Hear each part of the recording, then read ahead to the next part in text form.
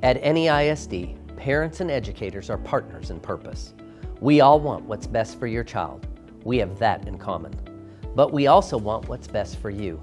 In our district, parents and guardians have a support system in place to meet your needs and help you become the best you can be.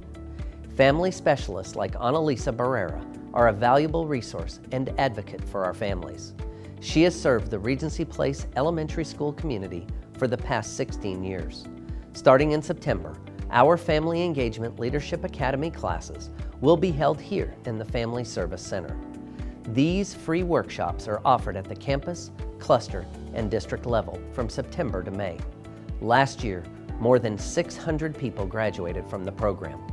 Course topics cover everything from nutrition and health to academics, parenting, life skills, and more. Our family specialists work hard to serve our communities. Each Title I campus has a dedicated family specialist, and we have added six family engagement liaisons collaborating to support all other communities in our district. To be considered a Title I school, a minimum of 40% of the students must qualify for free or reduced lunch.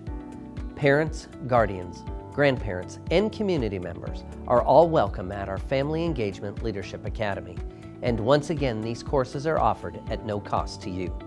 If you would like to sign up, visit the link on your screen to connect with your child's family specialist or contact a family engagement liaison.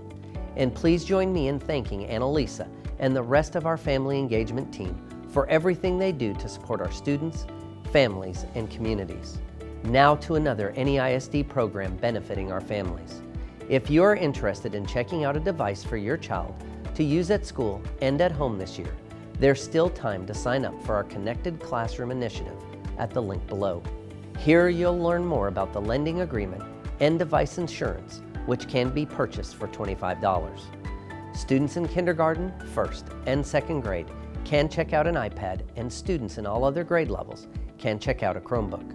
You'll be able to pick up those devices at your home campus starting in September. Before I wrap up, I want to make sure you saw the news that our Board of Trustees is accepting applications to fill the vacant seat in Single Member District 2 after the passing of Trustee Terry Williams. The deadline to apply is Monday, August 28th at 5 p.m. Visit the NEISD website to learn more. If you would like to revisit any of my previous messages, you can do so by accessing the link on your screen. Thanks for watching. I'll see you around our district.